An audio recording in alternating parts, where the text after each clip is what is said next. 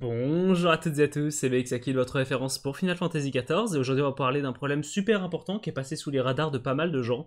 On en a parlé en live et je me rends compte qu'il y a plein de gens qui au fur et à mesure arrivent et me disent quoi? De quoi? Comment ça? Et qui du coup ne savent pas, et donc on va en parler ensemble, vous allez voir, c'est un gros sujet, et qui a apporté pas mal de drama sur les réseaux sociaux notamment.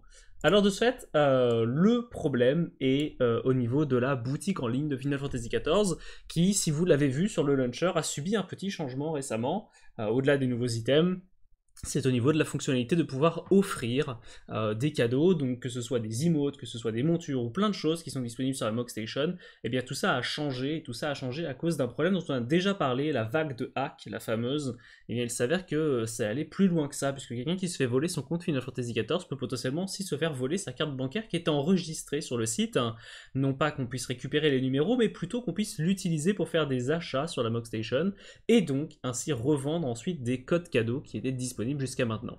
Alors Square Enix de ce a décidé le 25 octobre dernier de changer cette fonctionnalité et d'impossibiliter ces fameux achats ou du moins d'en réduire l'impact, puisqu'à partir de maintenant, les cadeaux que vous faites au niveau de la Mog Station ne sont faisables que par votre liste d'amis, et vous ne pouvez plus générer de code.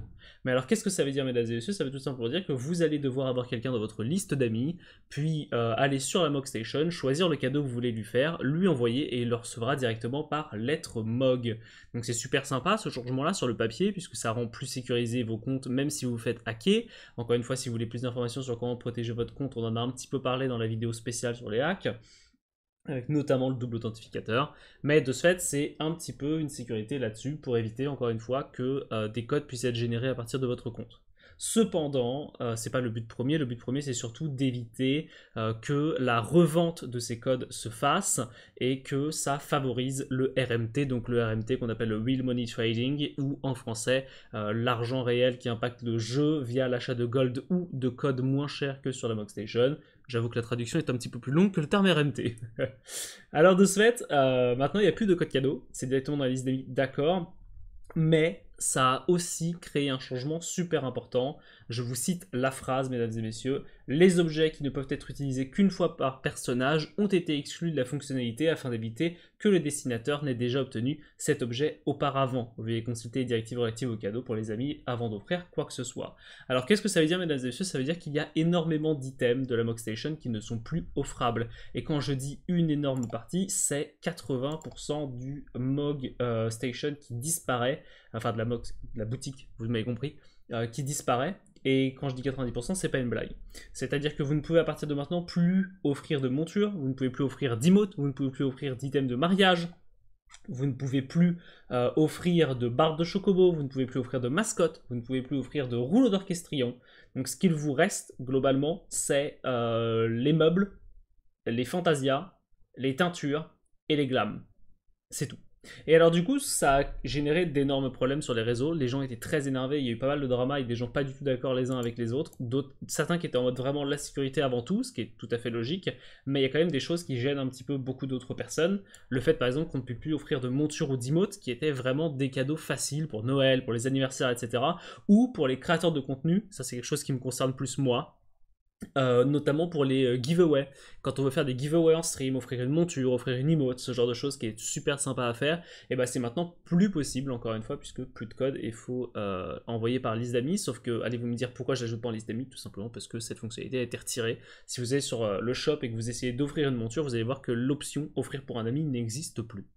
Euh, alors de ce fait, ça a gêné beaucoup de personnes, ça a généré beaucoup de drama et il fallait un peu dessiner la ligne entre à quel moment on préfère la sécurité ou à quel moment on préfère la, la.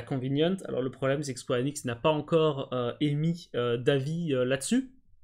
Euh, Square n'a pas euh, surenchéri un petit peu sur euh, les remous que ça a causé, parce que ça a fait beaucoup de bruit, hein, notamment sur Reddit et sur Twitter. On a vu beaucoup de choses se réveiller, pas mal de créateurs de contenu aussi qui étaient un peu tristes.